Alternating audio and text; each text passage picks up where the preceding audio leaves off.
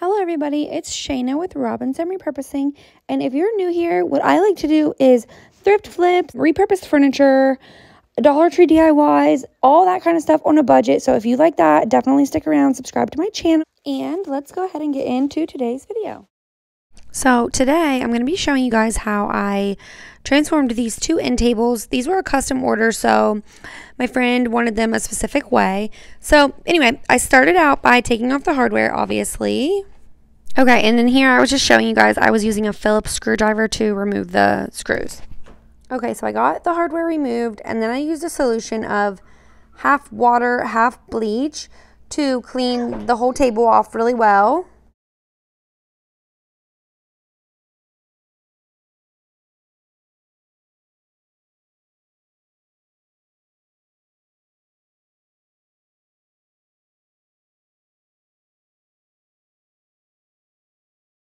And then I started to take Slick Stick, Dixie Belle's Slick Stick. It's basically like a primer and it helps with glossy surfaces. Like this table, the bottom, the whole table was very glossy, but the bottom, I wasn't going to sand it. I didn't want to sand it and, and she, she wanted it white and distressed. So I didn't need to sand it. I just wanted, I just went in with the Slick Stick. And Slick Stick just helps bond the paint to the surface. So like I said, this is slick and this the Slick Stick will that's hard to say. Will bond the paint to the surface. It's basically like a primer and it just helps the paint stick. And I only did one coat of this Slick Stick Sorry, it's so hard to say without messing it up.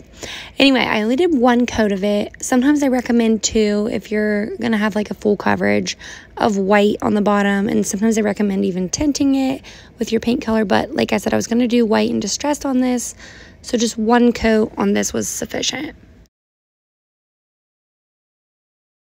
Okay, so I just repeated this process on all four of the sides of the table and I only did one coat of slick stick and I was doing two end tables and then so I just finished this one up with one thin coat and let it dry and then I moved on to the other side I mean the other table sorry.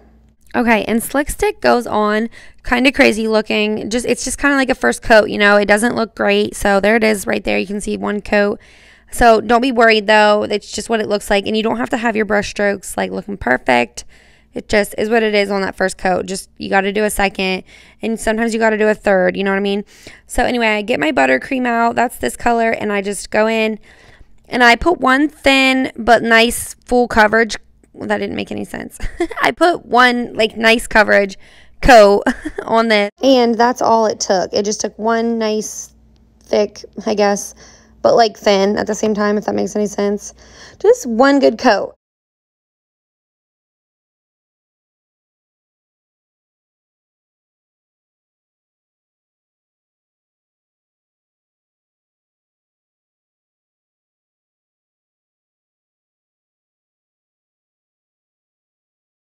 And as you can see, the one coat, like on that part there, and then here on this part, you'll see in a second, one coat was perfect. I mean, it was perfectly sufficient, especially for the fact that I'm going to go back in and distress this here in a second.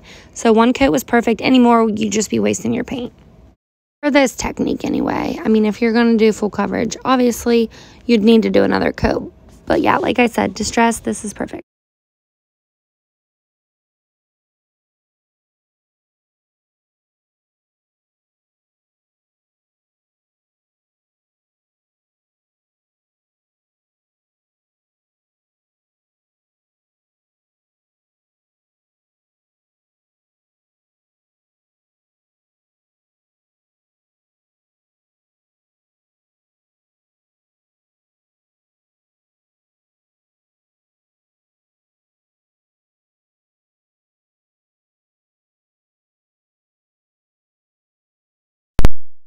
So as you can see here, I just got all four sides of each table covered and it was starting to look real good.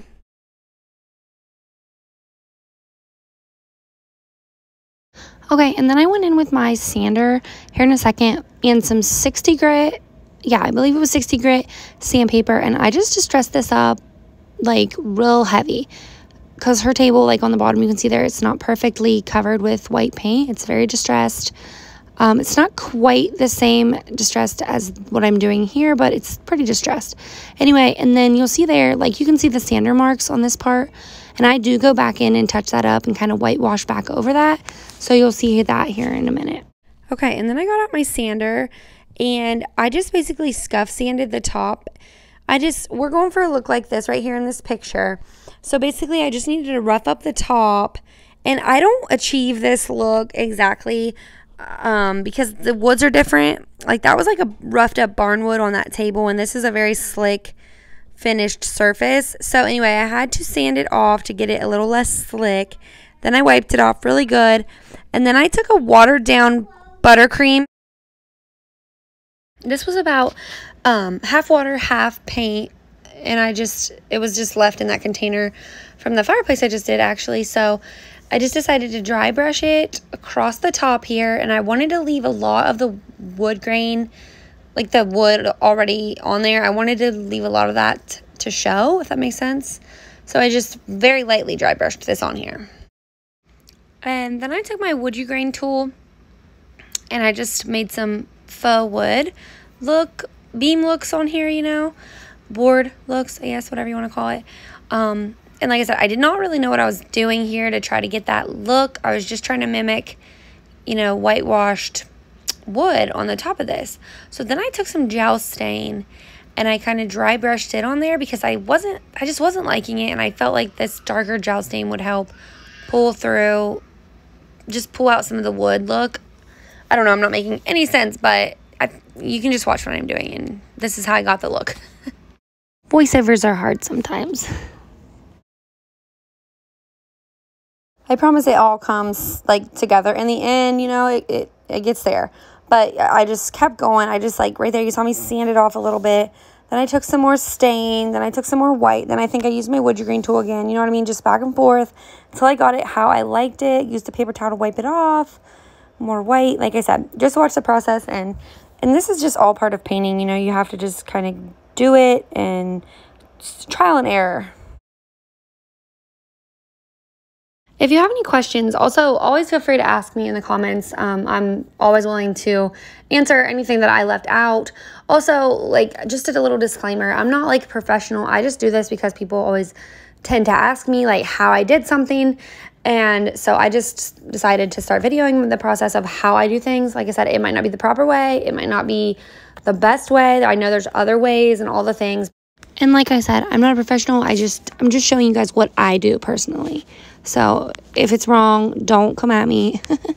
but anyway, all I'm doing here is taking Dixie Belle's clear wax and this wax brush and I'm just rubbing this wax into the surface of these front drawers. I didn't wax the whole piece. I just waxed the front drawers because, you know, this part will have more action than the rest of the piece. And technically, you don't really have to seal Dixie Belle paint. So anyway, I just sealed this front side. And when you do wax, or when I do wax, I just rub it in until it's not like sticky feeling anymore. Like you can see I was feeling it with my thumb there and all of that.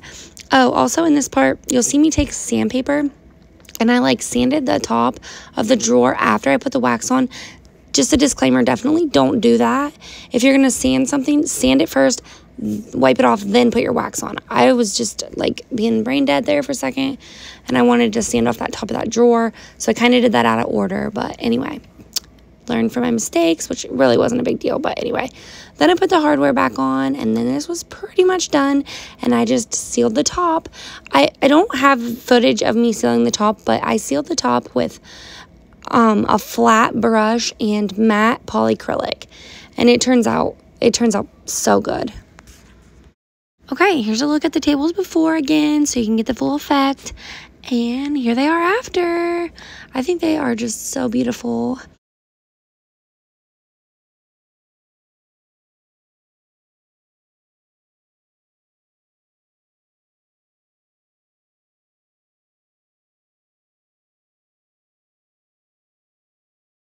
Thank you all so much for watching, and I hope you found this video helpful or inspiring in some way.